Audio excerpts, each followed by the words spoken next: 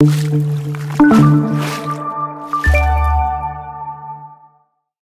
Hey guys and welcome to Simply Swim. Today we're going to be taking a look at the Simply Swim Basic Water Bottle. So this is a great all-round water bottle. It's great to have on your kit. The way that it's sized and designed as well, it's going to fit in those side pockets nice and easily. So it's BPA free. It has 750 mils in total, so it's a good volume. It also means as well you're not carrying too much, you know, water weight as well. It's got an easy open and lock snap system, so you can drink from it freely and very comfortably. And the mouthpiece itself is nice and soft. All you've got to do is push down on that, and there you go, it's all sealed up. And then to open it up, just pull that up.